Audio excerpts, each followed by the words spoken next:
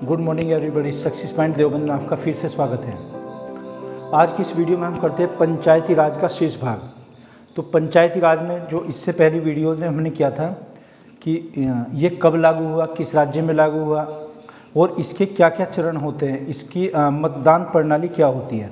आज हम चर्चा करने वाले हैं कि पंचायती राज व्यवस्था के चरण कितने होते हैं या स्तर कितने होते हैं टीयर्ड जैसे उत्तर प्रदेश में त्रिस्तरीय पंचायती राज सिस्टम लागू हैं ऐसे ही भारत के किन कौन कौन से राज्य जिनमें त्रिस्तरीय three tiered Panchayati Raj system ये लागू हैं? या कहीं पर दो टीयर वाला भी है कि द्विस्तरीय, या कहीं पर सिंगल टीयर या एक स्तरीय पंचायती राज व्यवस्था भी है। इन तमाम पहलुओं के बारे में आज हम गहनता से चर्चा करने वाले हैं। तो स्टार्ट करते हैं कि पंचायती राज व्यवस्था के स्तर टीयर देखना टीयर्ड का मीनिंग क्या होता है?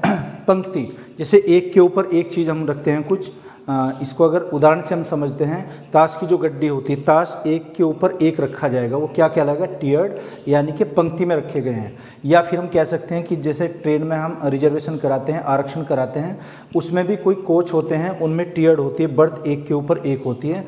इस विषय में हम बात करते हैं कि कौन कौन से स्तर या टीयर्ड वहाँ पर बनाए गए हैं। सबसे पहले बात करते हैं कि एक स्तर की, एक स्तरीय एक स्तरीय पंचायती राज व्यवस्था, यानी कि single tiered single tiered Panchayati Raj व्यवस्था किन राज्य में लागू है और वहाँ पर इसके चरण क्या होते हैं? उत्तर प्रदेश की अगर बात करते हैं, पंचायती राज अधिनियम, उत्तर प्रदेश पंचायती राज अधिनियम उन्नीस सौ सैंतालीस, उसमें थ्री टीयर थे। सबसे निचले स्तर पर क्या आ जाएगा? ग्राम पंचायत, फिर ब्लॉक प्रमुख, जिसको क्षेत्रीय पंचायत भी कहते हैं, या फिर जिला पंचायत या जिला परिषद। लेकिन कुछ राज्य ऐसे होंगे, उनमें एक ही स्तर होगा। एक स्तरीय इस स्तर को हम क्या कहेंगे? ग्राम पंचायत। ग्राम पंचायत। ग्राम पंचायत में कुछ सदस्य होते हैं, जिसमें एक परिषद होगी और उनके सदस्यों का एक मुखिया होगा, जिसको ग्राम प्रधान या फिर हम प्रमुख भी बोल सकते हैं। एक स्तरीय पंचायती राज व्यवस्था किन किन राज्यों में है? एक तो केरला। केरल में केवल एक ही स्तर होगा, एक टीयर होगी सिंगल टीयर सेकंड आ जाएगा Jammu and Kashmir, Jammu Kashmir. Number third Sikkim. Sikkim राज्य में क्या आ जाएगी? सिक्किम में होगी सिंगल टीयर एक स्तरीय. एंड इसके बाद त्रिपुरा. त्रिपुरा में भी क्या होगी? एक स्तरीय पंचायती राज व्यवस्था लागू है और एक मणिपुर. मणिपुर। मणिपुर का अगर कुछ पहाड़ी क्षेत्र हम छोड़ते हैं, कुछ भागों को छोड़कर, इसके अगर कुछ भाग को हम छोड़ देते हैं, कुछ भागों को छोड़कर। शेष त्रिपुरा में क्या होगा? एक स्तरीय पंचायती राज लागू है तो इसमें राज्य कितने हो जाएँगे? थ्री फोर फाइव पाँच राज्य, भारत में पाँच राज्य ऐसे हैं जिनमें एक स्तरीय पंचायती राज व्यवस्था लागू है। अब बात करते हैं जिसमें टू टीयर द्विव स्तरीय पंचायती राज व्यवस्था। दो स्तरीय। दो स्तरीय पंचायती राज व्यवस्था, ना टू टीयर्ड टू टीयर्ड ये कहाँ कहाँ पर लागू है और उसके टीयर क्या होंगे? कौन कौन सी इसमें संस्थाएँ होंगी? सबसे निचले स्तर पर ग्राम पंचायत, उससे ऊँचे वाले या ऊपर के स्तर पर आ जाएगी क्षेत्रीय पंचायत। सबसे पहले क्या होती है? ग्राम पंचायत। ग्राम पंचायत। और सेकंड इसके ऊपर जो होगी, कौन सी आ जाएगी? क्षेत्रीय पंचायत। क्षेत्रीय पंचायत। इसका दूसरा नाम भी होता है पंचायत समिति। पंचायत समिति। हमारे यहाँ पर इसको ब्लॉक बोलते हैं, जैसे ब्लॉक प्रमुख बनता है या एक अधिकारी होता है, इसका बीडीओ ब्लॉक डेवलपमेंट ऑफिसर। तो इसमें क्या आ जाएगा? दो ही इसमें टीयर होंगे, दो स्तर होंगे। पहला नंबर ग्राम पंचायत सेकंड नंबर क्षेत्रीय पंचायत, ये द्विस्तरीय पिछली वीडियो में हमने बताया था कि ग्राम रूलर किसे कहते हैं? गाँव या ग्राम, कुछ गाँव को मिलाकर एक ग्राम पंचायत बनती है। ग्राम को इंग्लिश में रूरल और नगर को अर्बन बोलते हैं। तो रूरल एरिया में अगर देखें कि ग्राम किसके लिए प्रयुक्त हुआ है, जहाँ पर पिछहत्तर प्रतिशत लोग कृषि कार्य, कृषिगत कार्य करते हों। और नगर क्या हो जाएगा जहाँ पर 75 परसेंट लोग नॉन एग्रीकल्चर एक्टिविटीज़ में इंगेज होने चाहिए? उसे हम नगर बोलते हैं तो ग्राम पंचायत। ये कितने राज्यों में होगी? टू टीयर ये लगभग पाँच राज्यों में आ जाएगी। कौन कौन से? एक तो मध्य प्रदेश एमपी एमपी में टू टीयर सिस्टम लागू है, मध्य प्रदेश। सेकंड नंबर आ जाएगा Haryana. Haryana. Number third Karnataka. Karnataka. एक कर्नाटक राज्य होगा इसमें क्या हो जाएगा? टू टीयर्ड ओके एक यहीं पर आ, हो सकता है मध्य प्रदेश हरियाणा कर्नाटक और असम। असम में भी क्या हो जाएगा? टू टीयर्ड और नंबर फाइव आ जाएगा उड़ीसा।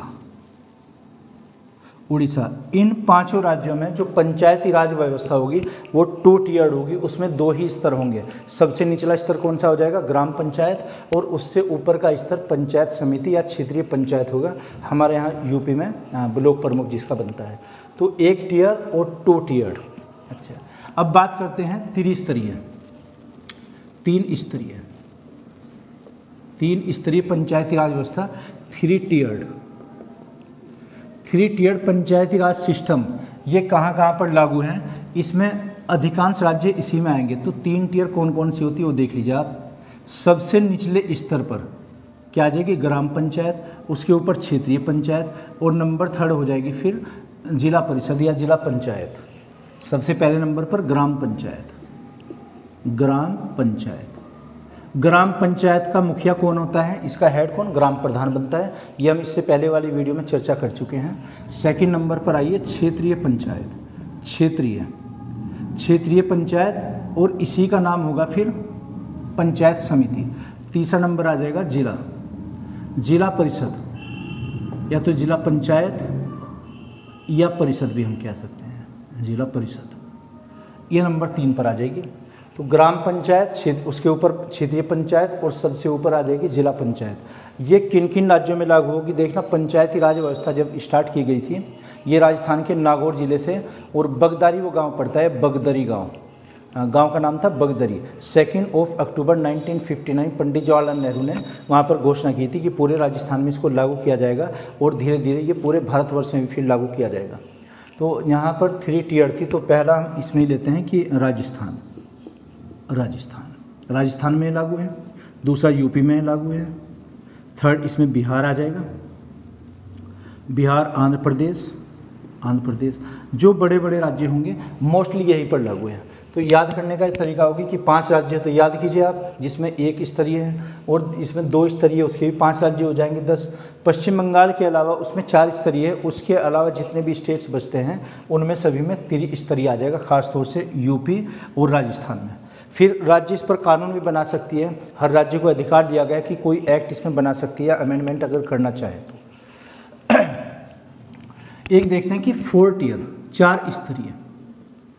चार स्तरीय पंचायती राज व्यवस्था four tiered four tier Panchayati Raj system किन राज्यों में लागू है? उनमें चार स्तर कौन कौन से होंगे, ये समझिए आप। तो फ़र्स्ट हो जाएगा इसमें, फिर ये सेकंड थर्ड एंड फोर्थ ना, पहले स्तर पर क्या आएगा? जैसे सभी की तरह ग्राम पंचायत। इसमें तो क्या आएगा? ग्राम पंचायत। ग्राम पंचायत। सेकंड नंबर पर आ जाएगा। इसमें आंचल पंचायत, आंचल। आंचल पंचायत। पंचायत। ठीक है जी, आंचल बोलते हैं रीजनल को, क्षेत्रीय, जिसका कुछ क्षेत्र हो गया। And number third and fourth number third पर आ जाएगा। आंचलिक परिषद। आंचलिक। आंचलिक परिषद। परिषद। ये बड़ा है इसमें। जैसे आंचल और ये आंचलिक। यानी कि गाँव से बड़ा ब्लॉक होगा, उससे बड़ा होगा तीसरा स्तर। एंड नंबर फोर आ जाएगा यहाँ पर। जिला पंचायत। जिला पंचायत। ये डिस्ट्रिक्ट लेवल पर होगा। तो इसके चार चरण होते हैं। ये किन राज्यों में लागू हैं? सिर्फ़ पश्चिमी बंगाल में। पश्चिम बंगाल वेस्ट बंगाल। वेस्ट बंगाल। ये पश्चिम बंगाल में सिर्फ़ लागू है यहाँ पर। आ, चार स्तरीय पंचायती राज व्यवस्था। फिर से देखिएगा पंचायती राज व्यवस्था का जो प्रारंभ हुआ था, ये राजस्थान में हुआ था नागौर ज़िले में। नागौर जिला बैलों के मेले के लिए भी प्रसिद्ध है और उसका एक गाँव है बगदरी। बगदरी गाँव में तत्कालीन प्रधानमंत्री पंडित जवाहरलाल नेहरू ने सबसे पहले पंचायती राज व्यवस्था लागू करने की बात कही थी 1959 में। इससे पहले अगर देखते हैं, आंध्र प्रदेश के कुछ क्षेत्रों में इसे प्रायोगिक रूप से 1958 में लागू किया जा चुका है। और राजस्थान के बाद में फिर से आंध्र प्रदेश में लागू किया। उसके बाद में फिर तमिलनाडु, असम और कर्नाटक में लागू किया गया और एक साथ ही फिर लागू किया था गुजरात में और महाराष्ट्र। और ऐसे ऐसे ये धीरे धीरे पूरे भारत में लागू हुआ। बाद में एक तिहत्तरवा संविधान संशोधन किया गया, जिसमें से कानूनी रूप दिया गया और 1992 में हुआ था, सन उन्नीस सौ बानवे में तिहत्तरवा संविधान संशोधन, seventy third constitutional amendment in 1992 उसको जब परिवर्तन में लागू उसको किया गया 24 अप्रैल सन उन्नीस सौ तिरानवे को यही कारण है कि हम 24 अप्रैल को एक पंचायती राज दिवस मनाते हैं। फिर उसमें बात आती है कि कितने स्तर होने चाहिए।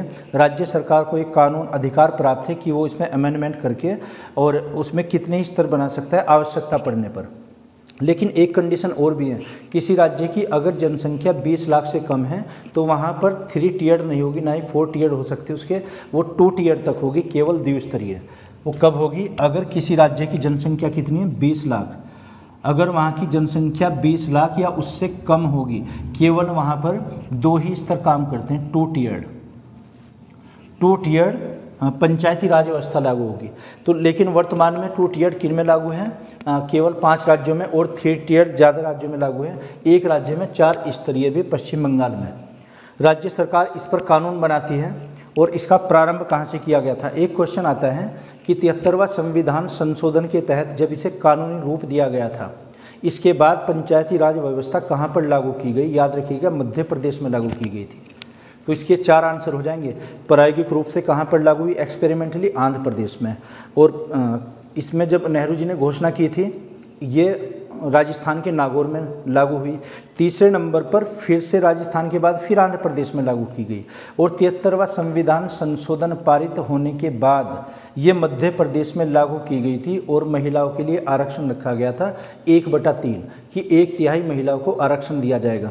कहीं भी पंचायती राज व्यवस्था में ओबीसी के लिए आरक्षण की व्यवस्था नहीं है, जो इस चैप्टर में हम पढ़ेंगे। लेकिन उत्तर प्रदेश पंचायती राज अधिनियम उन्नीस सौ सैंतालीस के अंतर्गत सन 2000 में एक और संविधान संशोधन किया गया कि वहाँ ओबीसी के लिए आरक्षण की व्यवस्था की गई।